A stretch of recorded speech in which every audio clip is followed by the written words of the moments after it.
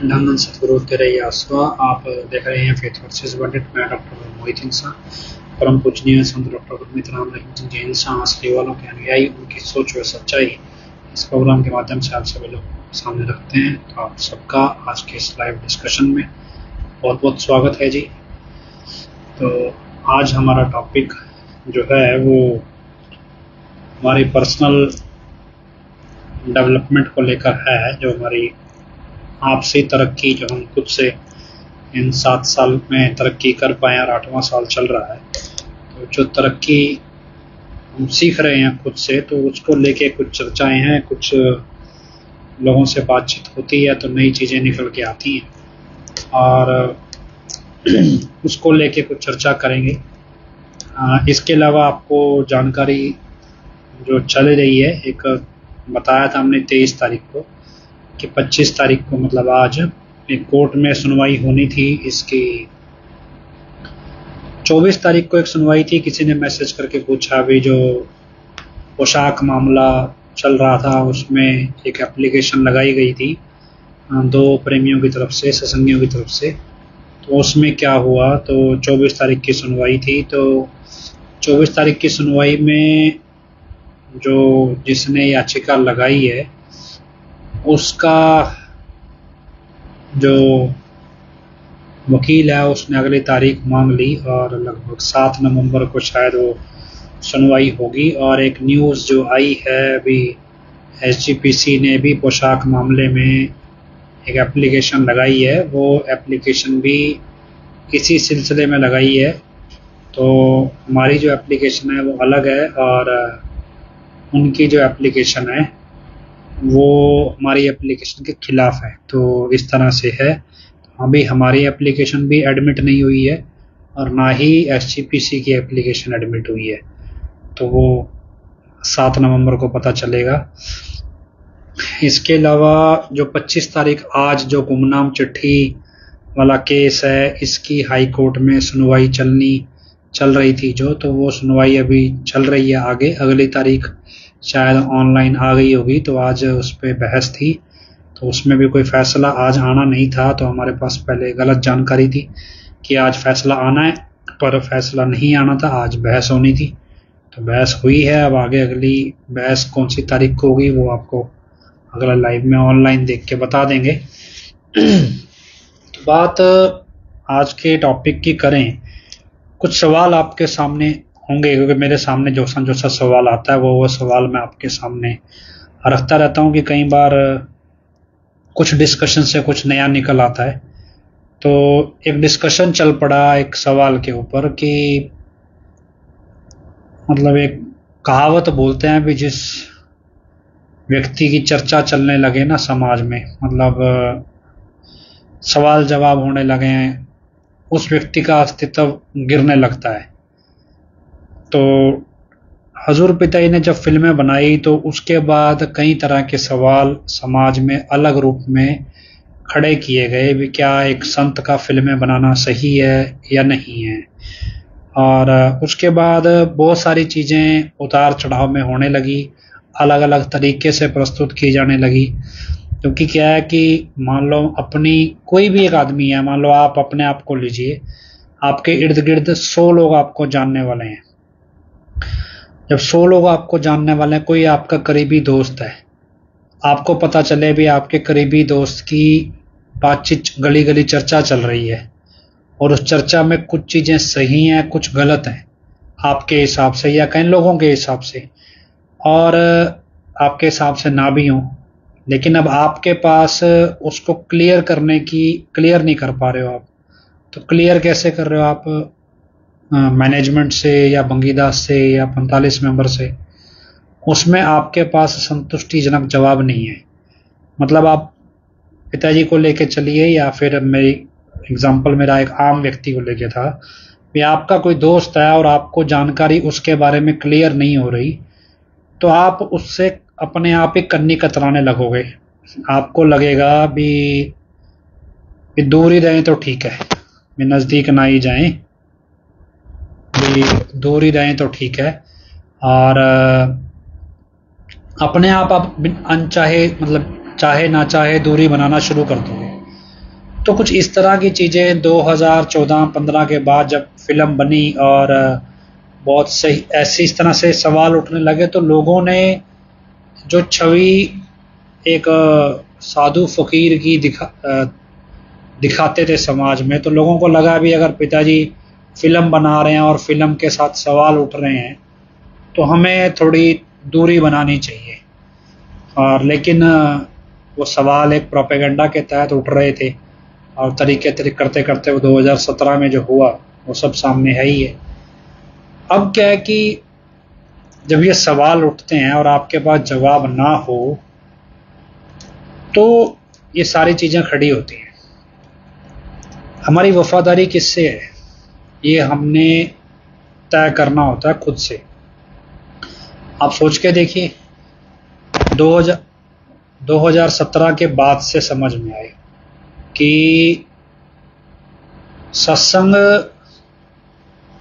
में हमने वचन सुने, पिताजी हमें सब कुछ बताते थे, सब कुछ समझ आता था। मतलब समझ हमने, समझना नहीं चाहा, सब कुछ मतलब क्लियर बता रहे हमने सोचना, समझना नहीं चाहा। हमारे मन में सवाल उठा पिताजी को लेके। हमने बंगीदास से क्लियर किया, पैंतालीस मेंबर से किया, प्रबंधक से किया, सतब्रह्मचारी से किया गुरु ब्रह्मचारी से किया।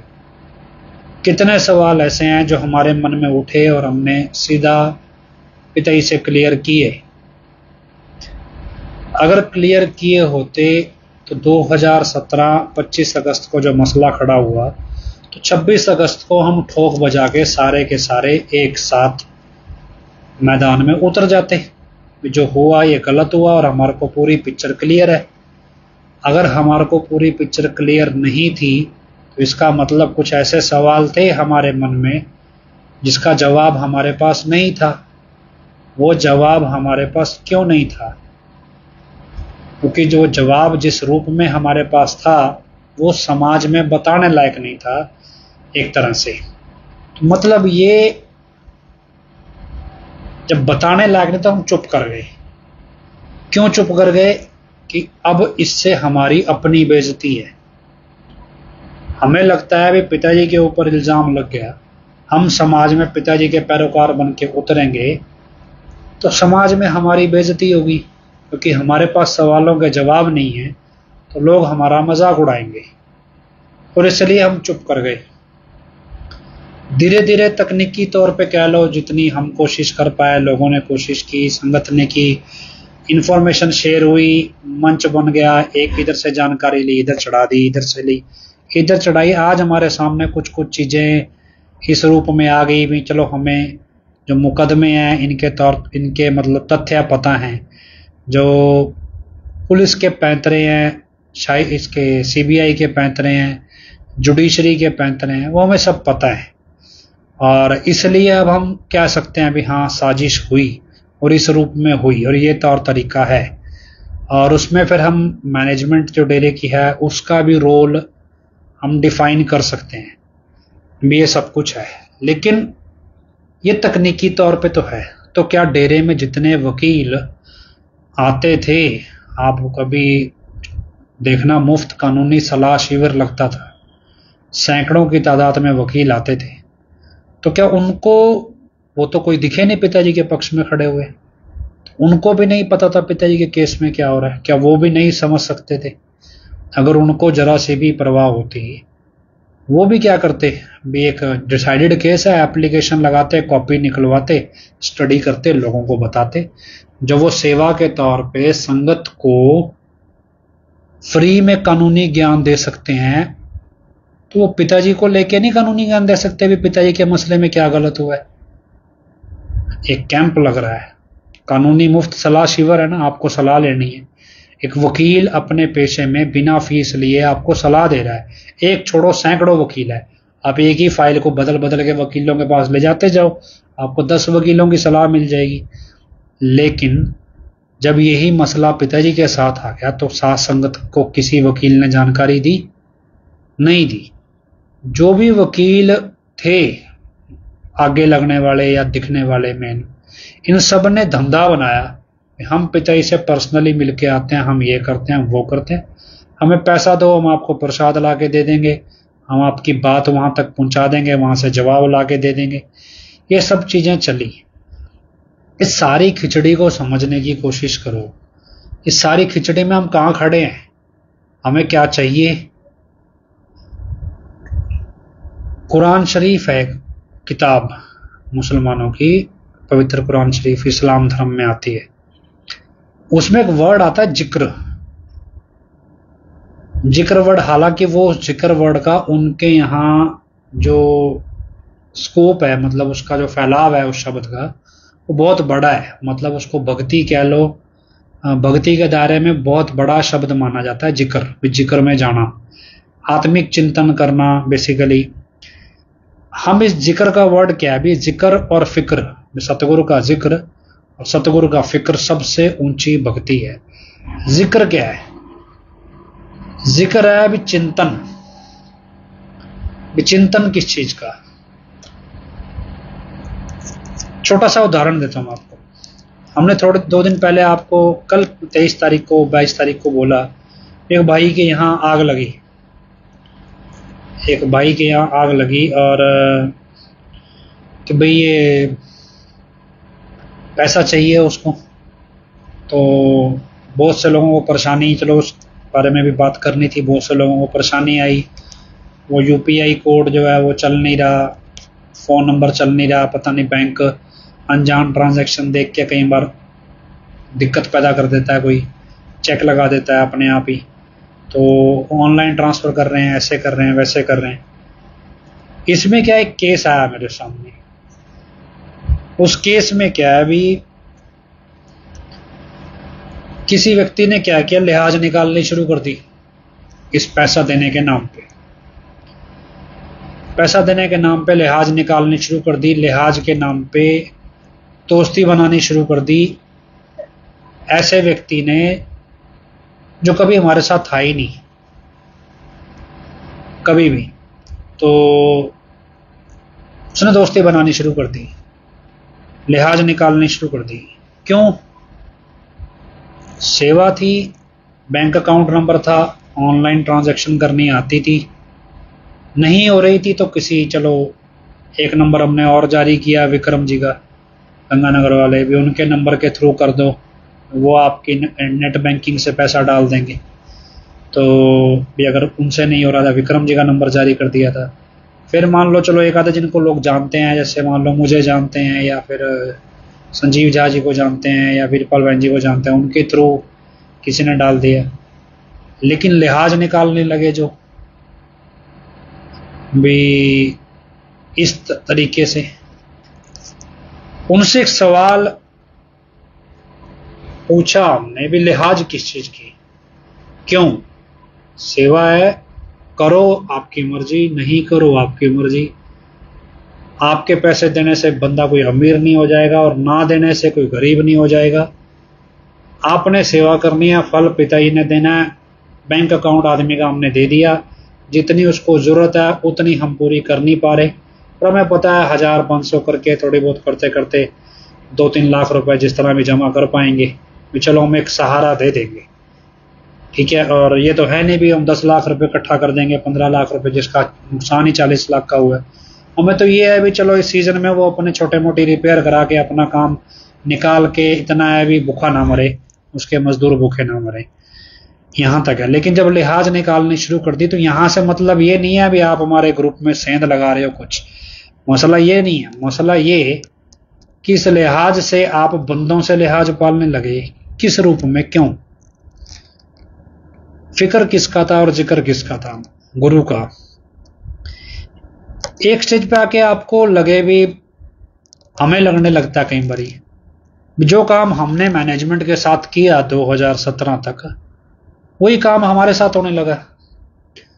भी मैनेजमेंट के साथ उन्होंने लिहाजी तो पाड़ी यार ये वाला ब्रह्मचारी मेरी बात पिताजी तक पहुँचा देगा, ये वाला ब्रह्मचारी हमारी इस पर बात करा देगा, ये वाला ब्रह्मचारी हमें प्रसाद दे देता है, ये वाला ब्रह्मचारी हमारे को कोई दात का सामान दे देता है या कोई पिताजी की बात बता देता है।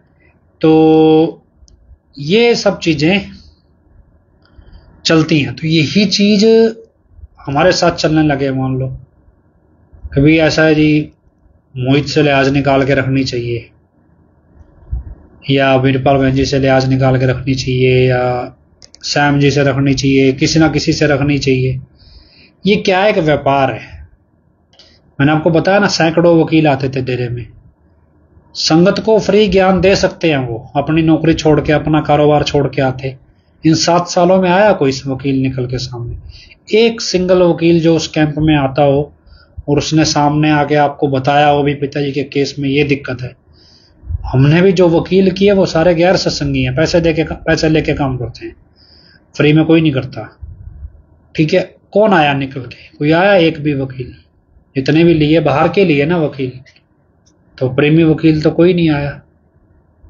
तो फिर वो वाकई में क्या सेवा करने आते थे डेरे में? या बिज़नेस लेने आते थे? बहुत सारी चीज़ें आपके दिमाग में घूमने लगेंगी। एक दुकानदार है, उसकी दुकानदारी नहीं चल रही, उसको लगता है अभी या ज़्यादा चलेगी। यहाँ डेरे के प्रेमी बहुत रहते हैं इस इलाके में। क्यों ना इनके साथ चला जाए? गुरु जी की फ़ोटो लगा लेंगे दुकान पे। 25 अगस्त का दौर आया, फ़ोटो उठा के घर में वापस रख दी कि भाई अब तो रहने दो, अब तो समाज का जो बहुमत है दूसरी तरफ़ है। तो लोगों के लिए लिहाज है, रूहानियत नहीं है। कहीं नहीं है। आपको कोई सवाल पूछे, आपके गुरुजी ने ये क्यों किया, ये क्यों किया, ये क्यों किया? आपको ये चुप रहे जी, घर बैठे गुरु गुरु करो, क्या पढ़ना इन चक्करों में? असल में क्या है, क्योंकि आपका सुविधा का दायरा खत्म होगा। जो व्यक्ति आपसे ये बात कहे ना भी घर बैठो, चुपचाप गुरु गुरु करो सिमरण करो, दो तीन तरह के लोग मिलेंगे। एक जो मतलब एक्टिव खड़े हैं हमारे साथ, एक वो होंगे जो एक्टिव नहीं है, जो मतलब न्यूट्रल हैं, जो चुपचाप घर बैठ गए। तीसरे वो जो एडम ब्लॉक के झंडे उठाए घूम रहे तो बहुत सारे बंदे जो है न्यूट्रल बैठ गए। बहुत सारे बंदे चलो हमारे साथ भी जुड़े। कुछ प्रत्यक्ष तौर पे हैं, कुछ अप्रत्यक्ष तौर पे हैं। तो ये सारे जुड़े हमारे साथ। किसी ने लिखा ना, गर्ग नरवाणा वकील के बारे में। असल में गर्ग नरवाणा की से नाम से समझ आया। गर्ग नरवाणा तो पिताजी का वकील होने के बावजूद कभी वो, आपको अगर लगता है वो फ्री में काम करता था, उसने फैसला आने के अगले दिन मीडिया में इंटरव्यू दिया, मैं किसी डेरे को नहीं मानता। मैं तो पैसे लेके काम करता हूँ। सीधी सी बात। वो तो कभी कैंपों में सेवा पे ही नहीं आया। चलो, बात वापस हम वहीं पे लेके आए। कौन दिखता आपको सेवा करने वाला? सब व्यापार साध रहे हैं। सब अपने लिहाज पाल रहे हैं। कोई नहीं है। और, घर बैठ जाओ जी, चुपचाप। क्या करोगे? क्यों? क्योंकि आपको लगता है भी अब इमेज सही नहीं है। यकीन मानो, आपकी जरा सी इमेज उठने लग जाए मार्केट में। आपसे क्यों लिहाज बनाएँगे लोग? जिसकी मार्केट में इमेज उठ रही है, उससे लिहाज बना के रखो। क्योंकि उसकी इमेज के आसरे अपनी इमेज चमकानी है। जब संगत को यह समझ आ गया, आपको लगे भी फेथ वर्सेस वर्डिक्ट ने संगत तोड़ दी। या संगत डेरे आना बंद कर। एडम ब्लॉक यही बोलता है ना, संगत डेरे आना बंद कर गई संगत नाम चर्चा में आना बंद कर गई संगत एक इमेज पे खड़ी थी। वो इमेज पिताजी की इमेज पे खड़ी है। पिताजी की इमेज सही है तो संगत उस इमेज के साथ खुद को जोड़ रही है। ये ज़रूरी नहीं है कि वो संगत में सारे के सारे आशिक हैं, या सारे के सारे रूहानियत में अव्वल दर्जे के लोग हैं। वो पिताजी की इमेज के साथ खुद को जोड़ के खड़े हैं। उस इमेज में डेरे के दायरे में हनीप्रीत की प्रबंधकों की इमेज अच्छी है तो लोग अपने आप को प्रबंधकों के साथ जोड़ रहे हैं, जिसकी पिताजी तक पकड़ नहीं बनी, उसकी प्रबंधकों तक बन गई।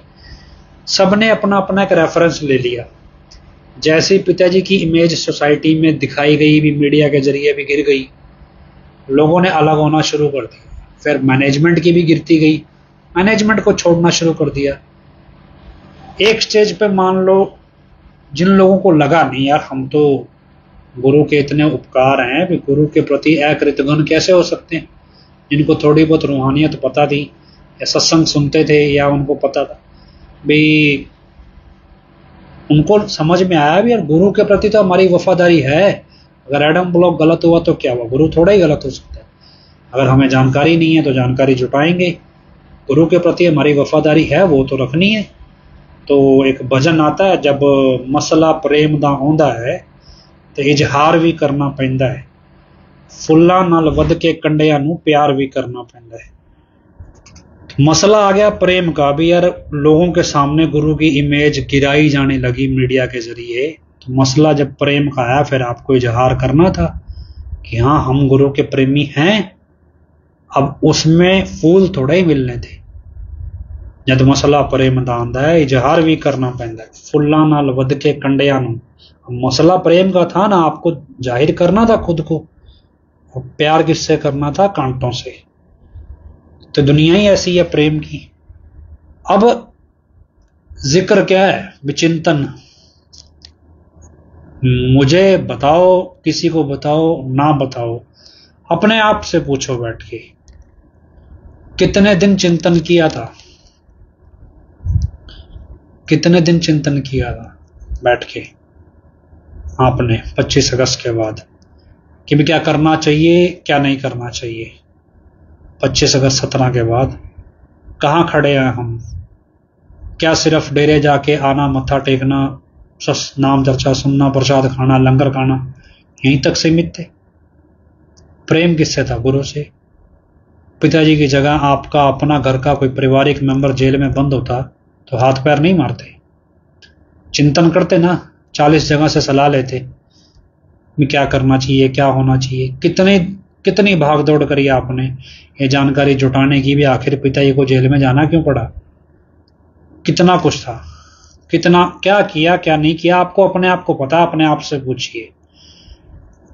कहाँ खड़ा था हमारा प्रेम? कहाँ खड़े थे हम? नहीं पता था। तो अब क्या है? अब मान लो हम कहें जी फेथ वर्सेस वर्डिक्ट खड़ा होने लगा तो लिहाज पाल लेते हैं।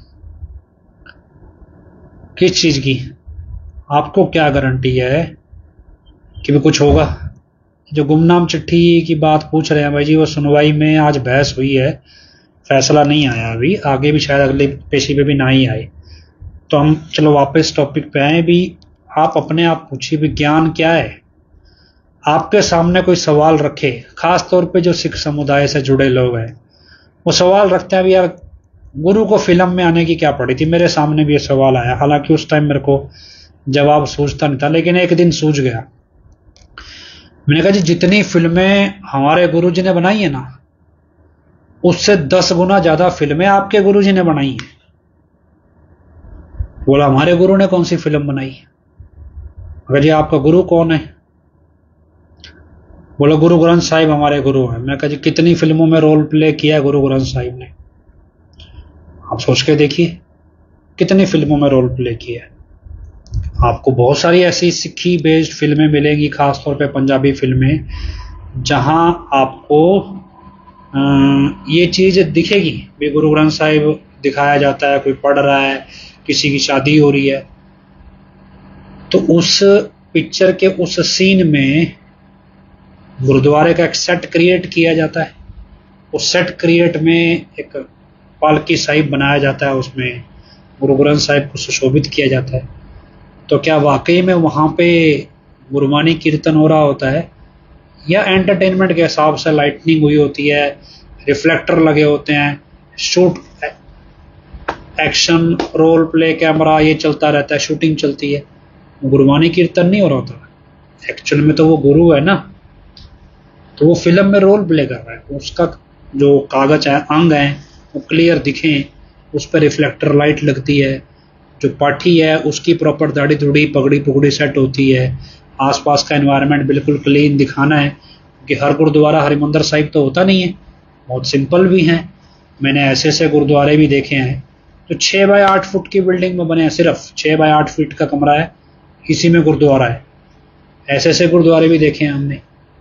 तो जब ये चीज़ फ़िल्मों में उतरती तो क्या वो फ़िल्म में रोल प्ले नहीं होता? तो क्या उस समय वहाँ वास्तव में कीर्तन चल रहा होता? है नहीं ना चल रहा होता। तो अब मसला ये कि बोले जी तो गुरु ग्रंथ साहिब तो बोल नहीं सकते, हिलजुल नहीं सकते। जीवित गुरु है ना? तो आपने कठपुतली बना लिया अपने गुरु को। जब चाहोगे जिस फ़िल्म में काम करवा लोगे, जब चाहोगे जिस फ़िल्म के सेट से बाहर ले जाओगे, यही होगा। तो एक आधी बार बीच में एक न्यूज़ भी आई थी, किसी ने शोर मचाया भी, यार गुरु ग्रंथ साहिब का ऐसे इस्तेमाल कर रहे हैं। एक गाना देखा मैंने। उस गाने में क्या है भी एक लड़का लड़की की शादी हो रही है उसमें से एक लड़का शायद क्रिश्चियन है या सिख है। या लड़की सिख है दोनों में से एक सिख है और एक क्रिश्चियन है। तो उस गाने में क्या हो रहा है, एक ही फ़िल्म का सेट लगा हुआ है, शूटिंग का। एक तरफ़ गुरुद्वारे का सेट बना हुआ है, एक तरफ़ चर्च का सेट बना हुआ है। तो एक बार उसकी शादी गुरुद्वारे में, जैसे वो नंद कारज करते हैं, वैसे शादी हो जाती है उसी गाने में। पैरेलल उसी गाने में उसकी शादी चर्च के पैटर्न पे होती है। और चर्च के पैटर्न में जब शादी हो जाती है तो उसमें रेड वाइन शेयर करते हैं। शराब होती है एक तरह की। रेड वाइन तो रेड वाइन शेयर करते हैं। अब ये गाने का शॉट है और एक ही लोकेशन पे हो रहा है, एक साथ। वहाँ पे गुरु ग्रंथ साहिब, बतौर गुरु ग्रंथ साहिब हैं।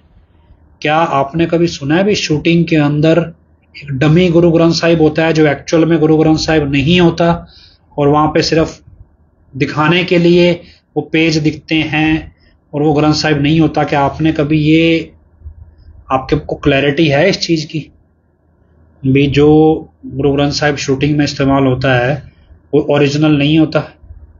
ओरिजिनल मैंने पता किया, मेरी जानकारी में कुछ लोग पंजाबी फ़िल्म इंडस्ट्री के हैं तो उन्होंने ये चीज़ क्लियर की है कि जो गुरु ग्रंथ साहिब इस्तेमाल होता है, गुरुद्वारे का सेट बाकायदा शूटिंग में गुरुद्वारों को भी पैसा दिया जाता है। हाल ही में एक फ़िल्म आई है। अरदास सरबत दे पले दी ऐसा कुछ। एक पंजाबी फ़िल्म आई है। उसमें प्रॉपर एक तीर्थ स्थान है। वो पूरे तीर्थ स्थान को शूटिंग का सेट बनाया गया तीर्थ स्थान कोई। तो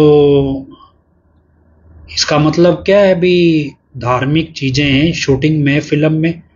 क्या आ, वो चीज़ें जो शूटिंग में दिखाई गई तीर्थ स्थान, क्या है वो?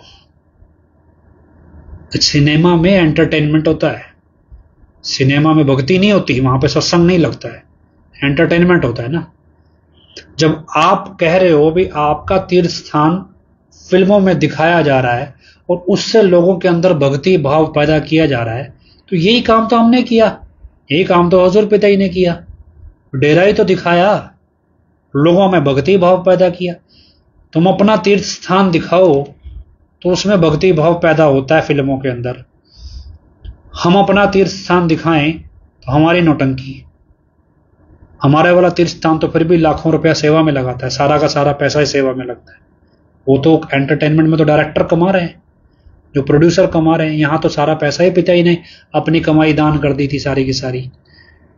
तो लेकिन ये हुआ ना अभी लिख रहे हैं, अभी अब गुरु ग्रंथ साहब को फ़िल्मों में दिखाने के लिए लगा दी है। लगा दी है या लगाई जाएगी?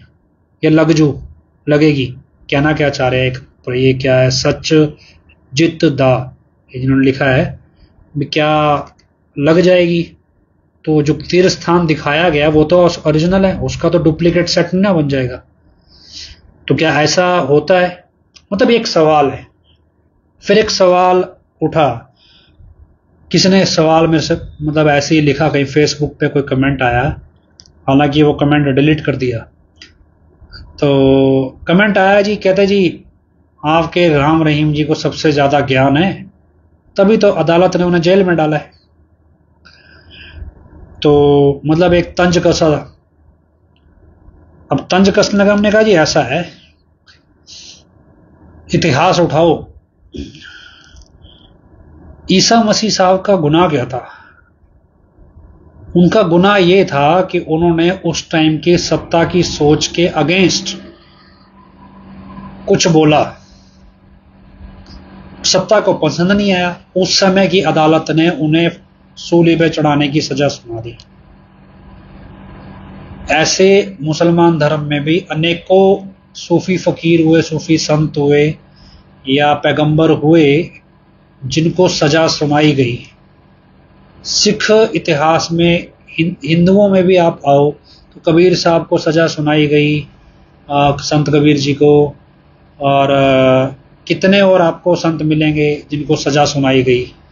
और इस्लाम में आप आओगे ना तो एक हज़रत बिलाल, आप, कभी इंटरनेट पे देखना, हज़रत बिलाल का वाक्य। तो हज़रत बिलाल को बहुत सारे जो भक्त अव्वल दर्जे के माने गए हैं, पैगंबर मोहम्मद साहब के। तो हज़रत बिलाल अफ्रीकी नागरिक था एक, जो अव्वल दर्जे का भक्त था हज़रत पैगंबर मोहम्मद साहब को। कितने तसीहे दिए गए थे। किस लिए भी उनको पैगंबर मोहम्मद साहब से प्रेम था, सिर्फ़ इस वजह से। और उसके बाद आप सिख इतिहास में हो गुरु नानक देव जी को जेल भेजा गया। गुरु अर्जुन देव जी को शहीद कर दिया गया, गुरु तेग बहादुर जी को शहीद किया गया। उसके बाद संत रविदास जी के साथ कितना घटनाक्रम चला, राजा ने कितनी नाराज़गी दिखाई और उसके बाद ये गुरु गोविंद सिंह जी के तो दो छोटे साहेबजादे थे, उनको इन सबको किसने सजा सुनाई थी? अदालतों ने तो सुनाई थी। इनका गुनाह क्या था?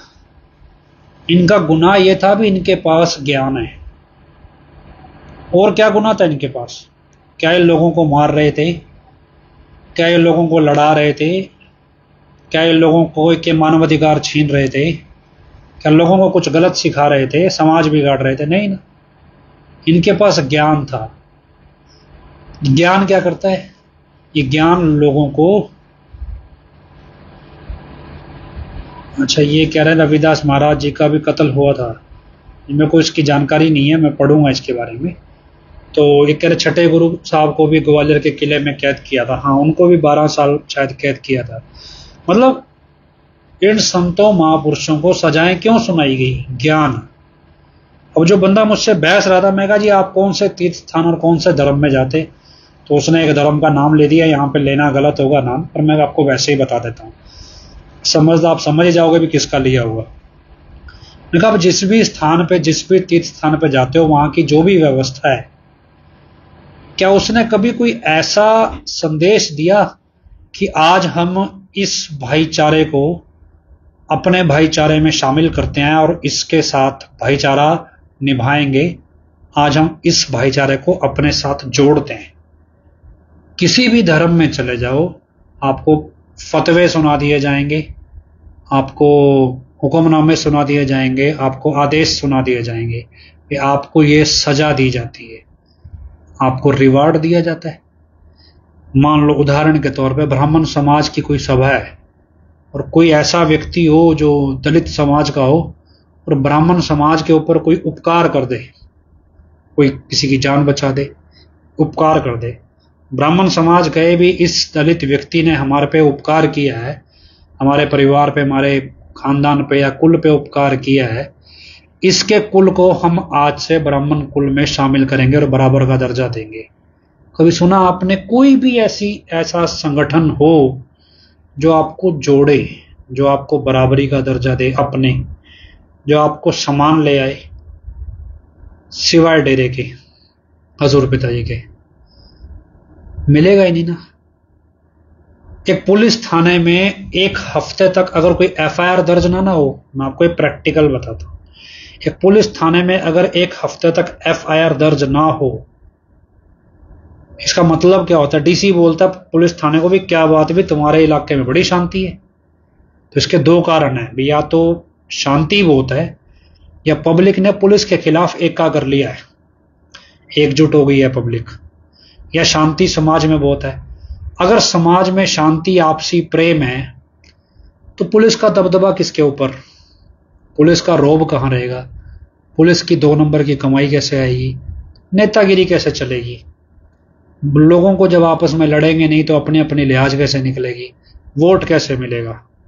तो इसलिए इस लोकतंत्र की प्रक्रिया जो है, वो एक चीज़ पे जाके समाज का घात करती है। क्योंकि लोकतंत्र की प्रक्रिया आपको बांटना सिखाती है। और बटोगे तो आप एक दूसरे को वोट दोगे, लड़ोगे तो एक दूसरे के गुट में जाओगे। तो एक हफ़्ते तक एफआईआर दर्ज नहीं हुई तो डीसी बोलेगा ना भैया ऐसे चलता रहा, फिर तो अपना रोटी पानी बंद। ऊपर बैठी अदालत भी तो बोलेगी अगर केस ही नहीं आया तो हमारी रोटी कहाँ से चलेगी? तो मतलब क्या है, जो पुलिस का सिस्टम है लॉ इन्फोर्समेंट सिस्टम जो है, इस लॉ इन्फोर्समेंट सिस्टम में पुलिस की पूछ कब है? जब हम आपस में लड़े, जब मामले दर्ज हों नए नए मुकदमे दर्ज हो, तब। जब दर्ज होने बंद हो जाएँगे तो हमारी पूछ नहीं है। तो इसमें कारण और सॉरी पुलिस की पूछ नहीं है। इसमें कारण या तो समाज में शांति है, या समाज पुलिस के खिलाफ एकजुट हो गया है। अगर शांति है तो तो अच्छा है। समाज पुलिस के खिलाफ एकजुट हो जाए, इसे देसी भाषा में कश्मीर कहेंगे। अब ये बोल रहे हैं राहुल शर्मा जी डीसी का एफआईआर से क्या लेना? पुलिस का इंचार्ज एसपी होता है। डीसी पूरे डिस्ट्रिक्ट का इंचार्ज। मेरा एक एग्जांपल है कि जो व्यवस्था सरकार आपके ऊपर बनाए हुए है ये व्यवस्था लोकतंत्र है। इस लोकतंत्र में आपके घर में पाँच वोट हैं। आपके कॉलोनी में पाँच सौ वोट है। आपके गाँव में पाँच हज़ार वोट हैं या कस्बे में पाँच हज़ार वोट हैं। आपके ज़िले में पाँच लाख वोट हैं। ये सारे वोट एक आदमी को जाएँगे कब जब आप एकजुट है। अलग अलग कैसे जाएँगे? अगर एक की जगह दो प्रत्याशी आएँगे तो वो अपना वोट खींचेगा, दूसरा अपना खींचेगा। तो आपका वोट खींचने के लिए वो प्रत्याशी तोड़ेगा।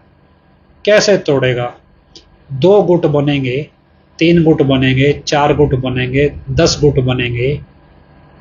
किस, ये व्यवस्था कौन संभालता है इस ज़िले की एक एक शहर की?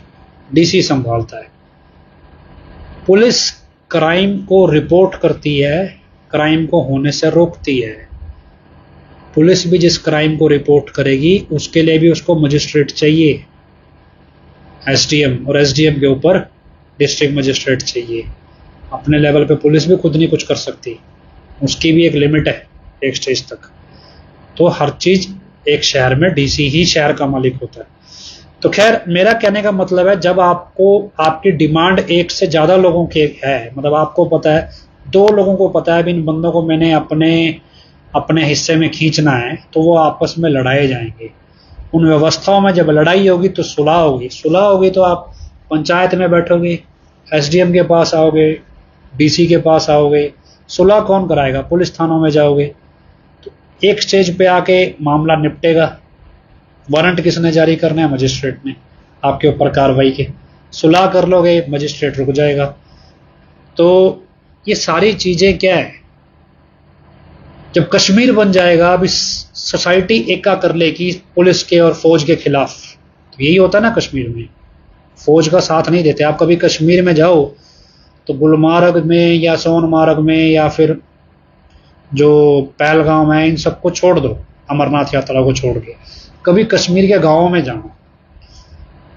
कश्मीर के गाँवों में जाओगे, वहाँ पे समाज में, उनकी समाज में एकता है। किसके खिलाफ? पुलिस के और फौज के खिलाफ। वहाँ किसी फौजी की ड्यूटी लग जाए ना, उसकी ड्यूटी मरने बराबर होती है। क्यों? आठ घंटे उसको बुलेट प्रूफ जैकेट पहन के बंदूक लेके खड़ना है और पड़ो, वहाँ के रहने वाले लोग उससे पानी भी पूछने नहीं आएँगे। और उसको अचानक से ऑर्डर आएगा भी यहाँ पे ड्रोन उड़ता दिखा, इस गाँव की तलाशी लेनी है। अब उसका गाँव में समर्थन करने वाला कोई है नहीं। तलाशी में उसके सामने कब आतंकवादी आ जाए, उसको पता नहीं। तो वहाँ कितना ही बड़े से बड़ा फौजी हो, जब ड्यूटी देता ना आठ घंटे लगातार तो पैर में खून उतर आता है और डर अलग होता है कि कब किससे कैसे सामना हो जाए, पता नहीं। क्यों? समाज ने एकता कर ली पुलिस के खिलाफ कि पुलिस जाति करती है। तो समन्वय बिठाने वाला जो भी भाई बोल रहे ना डीसी, समन्वय बिठाने वाला जिला प्रशासन सरकार के इशारों पे नाचता है, भी यार यहाँ रोड़ा पड़ा रहेगा, तभी तो राष्ट्रवाद का झंडा खड़ा रहेगा। तो समन्वय बिठाने वाला डीसी कभी समन्वय में बिठाता ही नहीं, पुलिस पे दबाव डालता ही नहीं। नतीजा क्या है? पुलवामा जैसी घटनाएँ होती हैं। और भी कितनी घटनाएँ होती हैं? तो कोई ना कोई तो शह देता ही है वहाँ पे आतंकवादियों को। तो बांट कौन रहा है? समाज को और जोड़ कौन रहा है? तो संत की गलती कहाँ है? संत की गलती यही तो होती है ना कि उसके पास ज्ञान है समाज को जोड़ने का। और जब आपसे कोई सवाल पूछे ना तो आप दो ना जवाब। भी आप जिस धर्म का ठेका उठाए खड़े हो, जिस धर्म का झंडा उठाए खड़े हो, या जिस धर्म के झंडे के नीचे खड़े हो, उसने कभी किसी को जोड़ना सिखाया? किसी को भी। धर्म ने तो सिखाया, लेकिन ठेकेदारों ने जोड़ने दिया। तो फिर गलत कौन? तो उसने लिख तो दिया कमेंट मज़ाक में, लेकिन हमें हमारा जवाब मिल गया। तो आपको आपका जवाब मिल जाना चाहिए। मतलब घूम फिर के बात वहीं आए विज्ञान, क्या है? अब ये सारी वफादारी किसके लिए?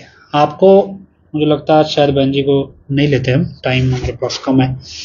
तो ये सारी जानकारी किसके लिए? भाई, आप सात साल से मान लो, चार पाँच साल तो हमें बोलते हो गए। या पहले पोस्ट भी डालते थे, बहुत से लोग तो शुरू से भी एक्टिव थे। हर कोई कमेंट लिखता था, कोई नारा ही लिखता रहता है नियम से। तो चलता रहता है। और सब अपना अपना कोशिश करते हैं, लेकिन आपको दिखता है भी आपका एंड कहाँ है। कल को पिताजी आ जाए तो कोई आपके पास फ्यूचर प्लान है, अपने लिए। या पिताजी के लिए? इतिहास में ना कुल का धर्म होता है एक। मतलब पहले क्या होता था धर्म हिंदू मुस्लिम सिख ईसाई नहीं होते थे। कर्तव्य को ही धर्म कहा जाता था। मान लो एक आदमी ने कर्तव्य पाल लिया कि भाई मैं तो धरती पे गंगा नदी लेके आऊँगा। अब उसने पाल लिया तो उस, उसने पूछा गुरुओं से क्या जी नदी गंगा नदी धरती पे कैसे आएगी? भी तो बोले भी, क्या ज़रूरत है गंगा नदी की? बोले, ज़रूरत ऐसा है जी। जो दक्ष था। मतलब ये ब्रह्मा के दस हज़ार पुत्र है, जो हमने गोद लिए थे। इनको मिल गया शराब इन्होंने कोई किसी फकीर को छेड़ दिया। इनको शराब मिल गया। अब जब तक इनके ऊपर गंगा का पानी पड़ेगा नहीं, इनको मोक्ष नहीं मिलेगा। अब फकीर ने शराब दिया, ज़रिया बना। और ज़रिया बना तो क्या जी ये गंगा कैसे आएगी? तो भी हमारे कुल का कर्तव्य है जी अब हमें लानी पड़ेगी। ने बोला जी, ऐसा है भी जब आप ज़िंदगी के, ज़िंदगी जो है, अगर आप जब अपने कर्तव्यों से मुक्त हो जाओ, उसके बाद आप भक्ति करो। तो जब जैसे से वो कर्तव्य से मुक्त होते अपने बच्चों की शादियाँ कर ली, बच्चों को राजपाट संभलवा दिया, राजा का कुल था वो। तो उसके बाद वो बाकी बची सारी उम्र भक्ति में लगाते थे। हर राजा का यह असूल था, जैसे ही राजा ने राजपाट अगले को संभलवाया, बाकी की बची उम्र वो भक्ति में लगाते। ऐसे पता नहीं कितनी पीढ़ियाँ उनकी इसी तरह भक्ति करते करते करते करते निकल गई। इसी तरह। आखिर में भागीरथ राजा हुए, राजा भगीरथ। तो उनके पहुँचने पे तो उनके कुल की भक्ति पूर्ण हुई। कुल का कर्तव्य तो भक्ति पूर्ण हुई तो भगवान ने कह लो, गंगा धरती पे आई। और धरती पे जब गंगा आई तो वो बाकी कहानी आपने पढ़ी है। मेरा यहाँ कहने का मतलब ये है भी कर्तव्य ही धर्म था। कि आपको क्या करना है? आपके कुल का कोई लक्ष्य होना चाहिए। तो किसी ने क्षत्रिय धर्म अपनाया भी हम तो जी संतों महापुरुषों की रक्षा ही करेंगे, सिर्फ़। हमारा यही धर्म है हमारा हर बंदा इसी के लिए जिएगा। और भी संतों महापुरुषों की रक्षा के लिए। कईयों ने कहा जी हम उनकी सेवा करेंगे भी उनका टट्टी पेशाब उठाएँगे। तो हम उनकी साफ़ सफ़ाई रखेंगे उनके इलाके की। हम ये करेंगे। सबने क्या किया भी भक्ति के अनुरूप अपना अपना कर्तव्य बाँध लिया। अपना अपना धर्म बाँध लिया। कुल का धर्म होता है। और उस कुल का धर्म है भी मान लो कोई मान लो आ, राजा भगीरथ थे जी, ऋषि भगीरथ नहीं थे। भगीरथ एक राजा थे। ऋषि तो बाद में बने भक्ति करने के बाद। तो अब उन्होंने अपना धर्म बाँध लिया। ऐसे ही आज की डेट में मान लो क्या छोटे परिवार हो गए, कुल कुल की परंपरा किसको याद है? छोटे परिवार हो गए, बोले जी, हम तो अपने माँ बाप की याद में अस्पताल बनाएँगे, मरीजों का फ्री इलाज करेंगे। तो अपना धर्म बाँध लिया। कोशिश करी, नहीं हुआ, अपने बच्चे ने कोशिश करी। आगे से आगे लोग कोशिश करते हैं। तो ऐसे ही मैं चाहता हूँ भी आप, अपना धर्म बांधो। मतलब मेरा एक कहना नहीं हमारा एक डिस्कशन कह सकते हैं। मैं चाहता का मतलब ये नहीं है कि मेरी इच्छा पूरी करो। मतलब हम इसको इस तरह से ले, भी हम अपना धर्म बांधें। अपने गुरु के प्रति, भी हमारे गुरु जब आएँगे तो हम क्या करेंगे? हमारा धर्म है भी हम ये सेवा करेंगे। कोई हमें कुछ पूछे, ना पूछे। कोई हमें इज़्ज़त दे, ना दे। तो भी हमें अपना धर्म निभाना है। भी हमें सेवा करनी है। हमें अपने आप को तैयार कर रहे हैं। कि हमारा गुरु हमारे को सेवा बख्शे आने के बाद। तो वो सेवा किस रूप में बख्शे तो उसकी मर्ज़ी है। लेकिन अपना और अपने आने वाले कुल को एक मकसद दो रूहानियत के प्रति। और इस मकसद के लिए अपने आने वाले कुल को ट्रेंड करो। ये मकसद हमने चुना है और अगर ये पूरा ना हो पाया तो अगला आपने इसको पूरा करना है। जैसे एक भाई मर्दाना की कहानी आपने सुनी होगी ना गुरु नानक देव जी के? तो जब गुरु नानक देव माँ, भाई मर्दाना से पूछा अभी चलो मांगो, क्या मांगते हो? तो अब हमें नहीं पता ये सही है कि गलत है, उन्हीं के परिवार वालों ने आगे बताई है। तो कह जी भाई मर्दाना से पूछा, गुरु नानक देव जी ने भी बड़ी सेवा करी हमारे साथ अभी मांग क्या मांगते हैं? उन्होंने कहा, गुरु जी, भी मेरे कुल में से कभी कीर्तन खत्म ना हो। भी कीर्तन जो है वो खत्म ना हो। तो हम देखते हैं भाई मुर्दाना की सत्रहवीं पीढ़ी। रागी शमिंदर पाल सिंह आए थे ना डेरे में, उस टाइम पिताजी ने स्टेज से बोला ना, भी ऐसे पीढ़ियाँ तरती हैं। भी अपने आप ही तरती हैं। फिर इनके पूर्वज भी डेरे में आए थे। ये भी बोला था। इनके पिता भी आए थे, ये भी आए हैं। मतलब ये पीढ़ियाँ तरना है। उसमें क्या भी आप अपने कुल को, अपने परिवार को धर्म दो। मान लो जैसे क्या है, अब बेअंत सिंह एक नाम मेरे सामने दिख रहा है। मान लो बेअंत सिंह को मैं जानता हूँ, ये क्या करते हैं, ये पेंटिंग का काम करते हैं पेंट करते हैं। तो ऐसा है भी, ऐसा जी, भी मान लो पेंटिंग मेरा हुनर है। हुनर है तो जी ऐसा है भी हम अपने कुल को, अपने परिवार को भी, अपने परिवार में आगे भी गुरु जी आएँगे। गुरु जी को कोई ना कोई सामान पेंट कराना होगा, डेरे का, सेवा में कोई भी। कह जी, हम तो दरबार के पेंटर बनेंगे और आने वाली कुल मेरी, वो भी दरबार में पेंटिंग का काम करेगी, सेवा करेगी। कमाई मेरी अलग है। भी सेवा के तौर पे हम पेंटर डेरे में पेंट किया करेंगे आके। और ये मेरी कुल का अपना धर्म है, जो निभाना है। मसला ये नहीं है, आपका जनु, आपका कमिटमेंट जो है, वो हमेशा के लिए होता है, वो टेम्परेरी नहीं होता। तो उदाहरण है भी मनोज पतलान इंसान हैं, अब ये मान लो फौजी हैं। और जी मेरा धर्म है भी जहाँ राम नाम पे भीड़ बनेगी, मेरे को आर्मी की ट्रेनिंग है, मैं अपने बच्चे को फौजी बनाऊँगा, या इस तौर पे तैयार करूँगा, या किसी भी तौर पे एक धर्म, एक मकसद दूँगा। ज़रूरी नहीं है हर बंदा फौजी बनाना है, लेकिन कोई भी एक मकसद दूँगा, राम नाम के व्यवस्था के प्रति, लेकिन सच्चे गुरु के साथ। ऐसी व्यवस्था नहीं भी जो लोगों को तोड़ रही हो। ज्ञान भी होना चाहिए, सिर्फ़ कर्म नहीं होना चाहिए। तो आप अपना डिफाइन करो अपने आप को। मेरे से लिहाज निकालोगे, किसी से भी लिहाज निकालो, कोई कहीं कुछ नहीं मिलना। क्या भरोसा है? कल को मैं वफादार रहूँगा कि नहीं रहूँगा? मेरे से पहले थे ना बहुत सारे ऐसे, जो पिताजी को इतने बड़े बड़े उपमाजनक शब्द बोलते थे। सुने आपने डेरे में? आपको लगता होगा मोहित तो कभी गद्दार हो नहीं सकता, जो लोग मतलब मेरे को जान रहे होंगे या जिनको लगता होगा मैं वफादार हूँ। क्या भरोसा कि मेरे अंदर मन नहीं है? मेरा कौन सा दसवां द्वार खुल गया? खुला होता तो मैं फेसबुक पे थोड़ा ही बहस कर रहा होता, मैं नाम जप रहा होता, नजारे ले रहा होता सचखंड के। तो मसला फिर वहीं का वहीं।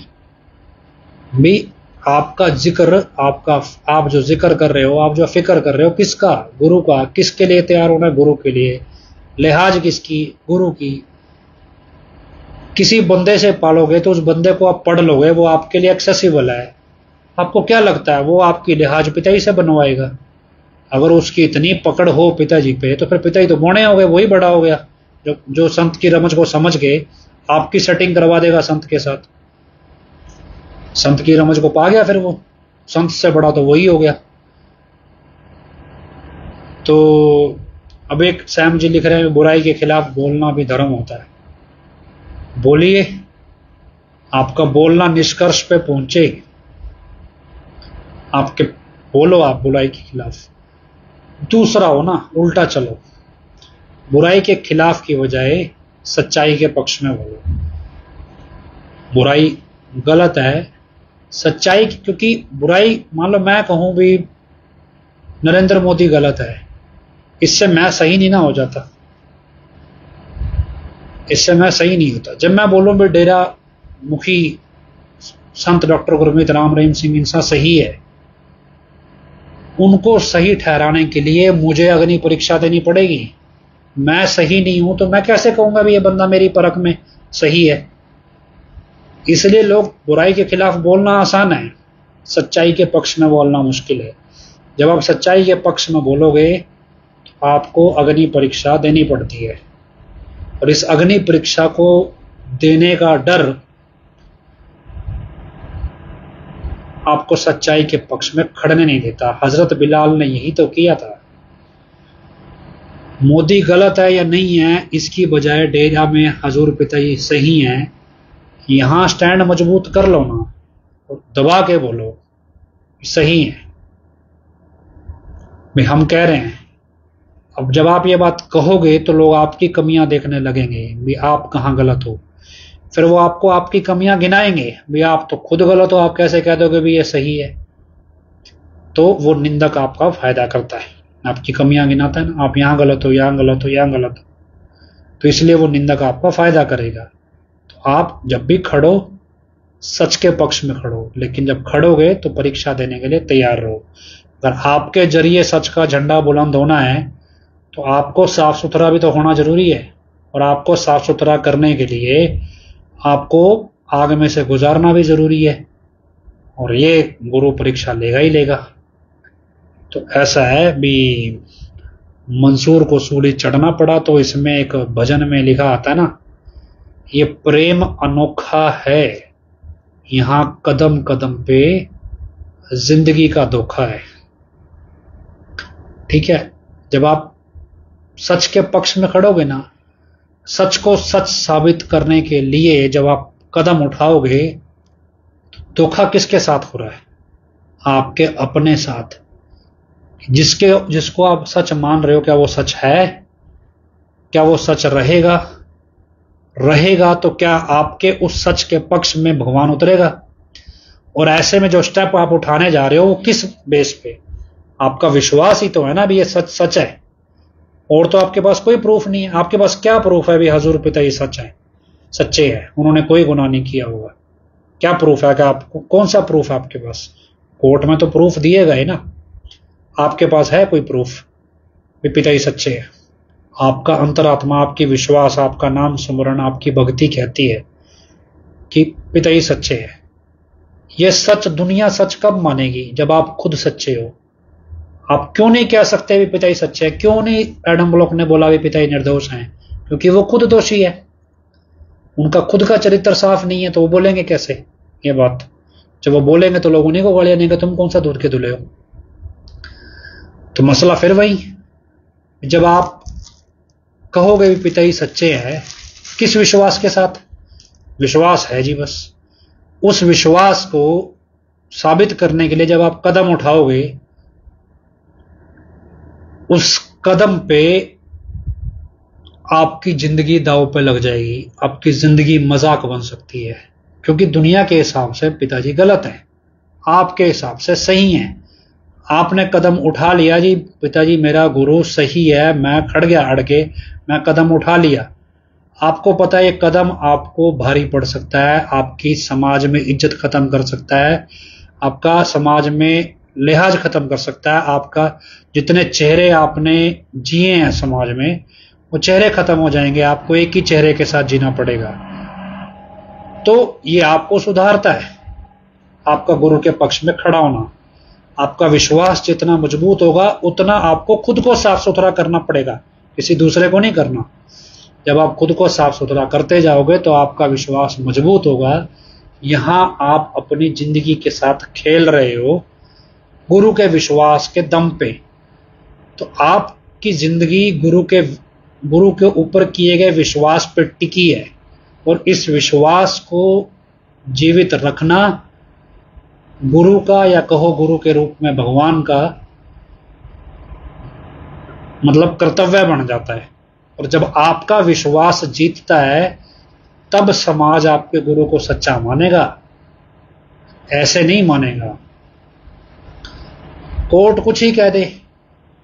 कोर्ट तो ऐसे ऐसे केस पड़े हैं तीस तीस साल लोग जेल भुगत आते हैं। हम कौन सा उसकी फ़ाइल खोल के देखते हैं? जितने लोग आप हैं दो चार जिनको पता है आप अपने दिल से पूछ लो और आप जवाब लिख दो। आपने पिताजी के केस की फ़ाइल खोली है कभी? देखी भी है? भी कैसी है? खोली है, उसमें क्या लिखा है? तो खोली है तो आपको पता है उसमें क्या क्या पढ़ना है। क्या लिख, क्या है उसमें? कैसे पढ़ना है इसको? कैसे पता चलेगा इसमें क्या झूठ है, क्या सच है? कैसे पता चलेगा? एक भाई ने लिखा भी सिर, सर की शर्त लगानी पड़ती है। शर्त नहीं जी, शर्त एक अलग मसला है। ये तो आप सफ़ाई देने पे उतरोगे। ये तो अगर आपके ऊपर बीत रही है तो आप लगाओगे। आप, लोग आपके तर्क पे भी यकीन नहीं करते। लोग आपके सबूत पे भी यकीन नहीं करते। लोग आपके व्यवहार पे, आपकी अपनी सच्चाई पे यकीन करते हैं। आपको कोई बंदा आके कहे, आपको कोई बंदा आगे बोलता है भी, आपका मान लो कोई भी इलाका है सपोज़ सिरसा ही मान लो भी सिरसा में एक गोपाल कांडा चुनाव लड़ रहा है, एक गोकुल सेतिया चुनाव लड़ रहा है। आपको कोई बंदा आके बोले, यार गोकुल सेतिया ठीक है, इसको वोट दे देते हैं, या कोई आपको कहे भी गोपाल कांडा ठीक है, इसको दे दे, या फिर एक और एक दरवेश स्वामी एक चार्टर्ड अकाउंटेंट है, वो भी चुनाव लड़ रहा है। कोई तीसरा कहे, यार, ये दोनों तो भ्रष्ट है, एक चार्टर्ड अकाउंटेंट खड़ा हुआ है, ये थोड़ा ईमानदार है, अभी नया है, इसको दे देते हैं। आप किसकी बात पे यकीन करके वोट दोगे? नेताओं के दावे पे? आपका अपना भरोसेमंद आदमी है उसके विश्वास पे? किसी पे तो विश्वास करोगे ना? अगर नहीं होगा तो नोटा का बटन दबाओगे या वोट देने ही नहीं जाओगे। लेकिन जिस पे विश्वास करोगे, किसी पे तो करोगे ना? क्यों करोगे? आपको उस पर विश्वास क्यों है? हो सकता है वो पैसे लेके बोल रहा हो।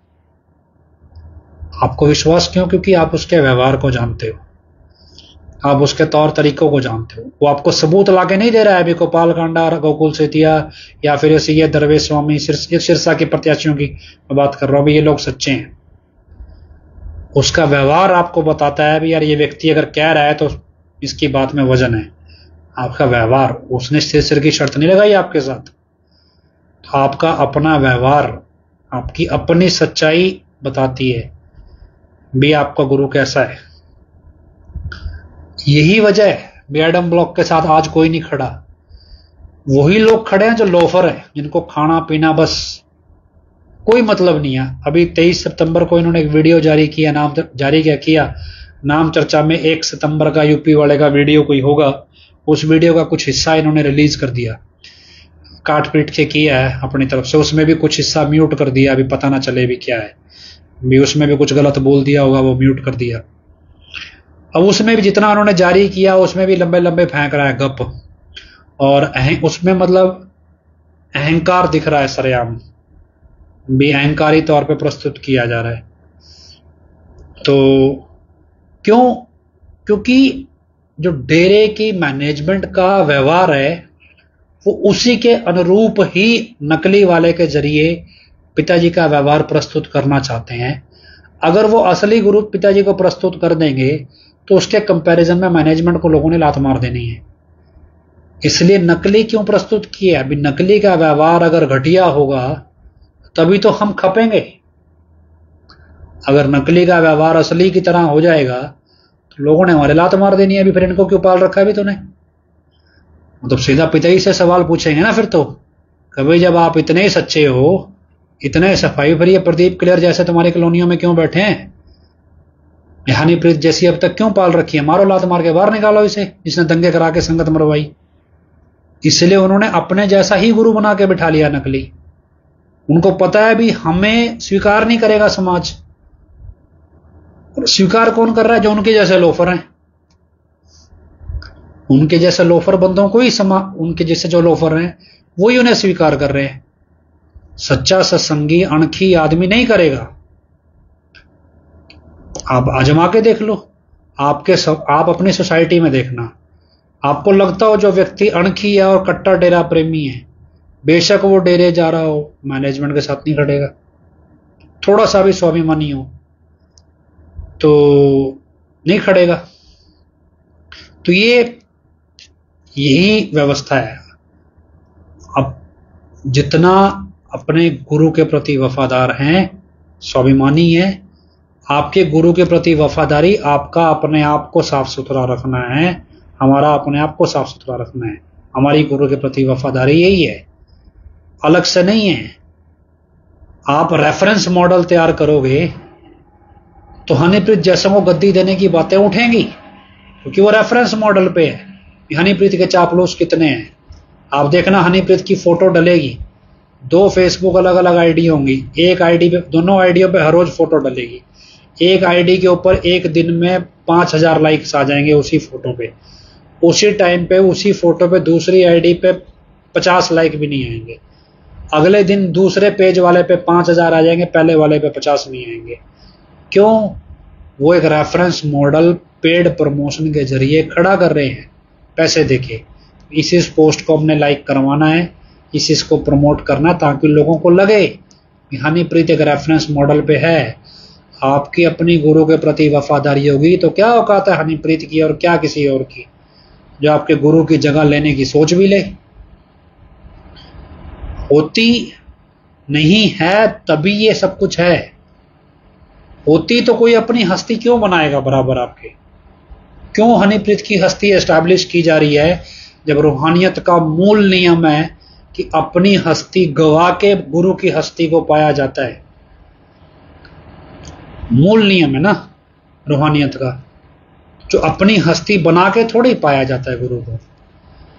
एक भजन लिखते ना, प्यार दया रोगियाँ दा दारू नहीं जहानते रोग टुट जाते दारू दर्शन आदि खानते आपको लगता है आपको कोई ऐसी बीमारी हुई जो दर्शनों के बिना टूटेगी नहीं? आप अभी अपने आप से पूछिए। कभी आपको लगा भी आपकी तबीयत खराब हो गई ये तब तक ठीक नहीं होगी, जब तक पिताजी आपको दर्शन नहीं देंगे। है ना? प्रेम वाला रोग जिन्हों होवे यारो लग वो कहते ना भी ना चैन किते फिरे भजया भजया फिर वो एक उसमें लाइन भी आती है अभी वैद नबज ढूंढता है उसको, कुछ समझ नहीं आता, क्या बीमारी है इसको। है किसी के साथ हुआ? हमारे साथ भी नहीं हुआ। हमें प्रेम होता तो होती है कब? ये शब्द तब सच्चा होता ना, जब हमारा प्रेम प्रेम में, हमारे प्रेम में तड़प होती। हम लिहाज ही पाल रहे हैं। हम उम्मीद ही पाल रहे हैं। प्रेम ही अब अब ये प्रेम कोई पैदा थोड़ी किया जाता। ये तो मांगा जाता है अरदास में, प्रार्थनाओं में। गुरु से कि भाई हमारे को ये वाला प्रेम बख्शो, जो इस भजन में लिखा है। तो आप सोचिए, हमने, मैं, कल मेरे को किसी ने बोल दिया। कही इतना रोड़ा पाया आपने फेसबुक पे, कभी मांगा प्रेम? मैं कल बैठ के सोचूं, या सच में मांगा तो कभी है ही नहीं। मैं मैंने नहीं मांगा तो मेरे साथ जितने लगे उन्होंने कौन सा मांगा है? नहीं तो वो मेरे को बताते। अरे, ये चीज़ मैंने आज आपके सामने रख दी, आप भी सोच के देख लेना। ये आपने मांगा ही? दर्शन के बिना अभी हमारे को और कुछ चाहिए ही नहीं, हमारे को भी आपको रोटी खानी पसंद ना आए। भाई ना जी, दर्शन दो तो ही बात बनेगी, नहीं साला कोई बात ही नहीं बनेगी। जिस दिन दर्शन दोगे, उसी दिन पकवान खाएँगे, वरना खाएँगे नहीं। नहीं, हम तो खा लेते हैं अपने शौक के अनुसार। फिर क्या है कि हमने शायद अपने गुरु को वो रुतबा दिया नहीं, जो हमें देना चाहिए था। और शायद हमें मौका मिला और हम देना चाहें तो आप भी दे सकते हैं। तो खैर, हम, आप अपना, सबका अपना अपना नज़रिया है। आप इस पर विचार कीजिए। और बाकी चर्चा हम अगली बार करेंगे तो हम सबसे पहले प्रार्थना करते हैं उन लोगों के लिए जो अपने गुरु से अपना प्रेम ओढ़ निभा गए, शहीद हो गए गुरु के प्रेम में इंसानियत की रक्षा के लिए, उन सबके लिए मालिक उनको अपनी गोद में ऊँचा स्थान दे और इस उम्मीद के साथ हजूर पिता के चरणों में नारा लगाते हैं। धन धन सतगुरु तेरा ही आसरा और सच्चाई दुनिया को सबको समझ आए तो इस उम्मीद के साथ भी हम सतगुरु जी के चरणों में नारा लगाते हैं धन धन सतगुरु तेरे आसरा, आखिरी में अरदास बोलते हैं धन धन सतगुरु तेरा आसरा। हे मालिक, तुझे इलाज है, अब बहुत हो गया तो दया में रहमत कर, तेरे प्यार, मोहब्बत की राह में हमें कोई दुख, तकलीफ़ ना आए तो ऐसी रहमत बख्श, वह सबको सुमति दे। किस तरह से देनी है, यह तो सब जानता है, जिसको जैसे देनी है, वैसे दे, वो तेरी मर्ज़ी। धन धन सतगुरु तेरा ही